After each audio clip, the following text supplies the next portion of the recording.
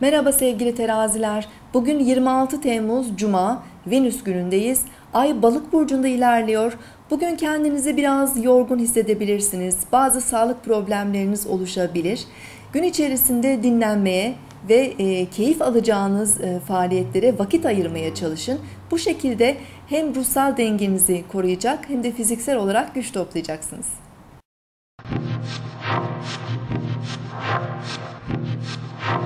Burcunuzu dinlediniz. Bugün 26 Temmuz Cuma, Venüs günündeyiz. Ay balık burcunda ve boşlukta ilerliyor. Balık burcundaki ay duyguları ve hayalleri güçlendirebilir.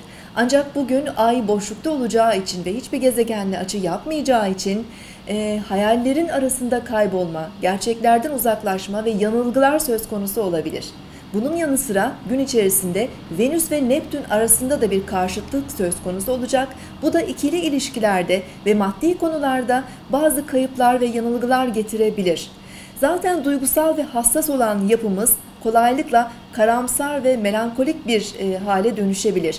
Bu nedenle gün içerisinde önemli işler, toplantılar, anlaşmalar ve konsantrasyon gerektiren işler yapmak için enerjiler çok uygun değil. Bunun yanı sıra e, günlük işlerimizle ilgilenebilir, kendimizi rahatlatacak, e, sevdiğimiz faaliyetlerle ilgilenebilir, sanatsal çalışmalar yapabilir, ruhsal faaliyetlerde bulunabiliriz.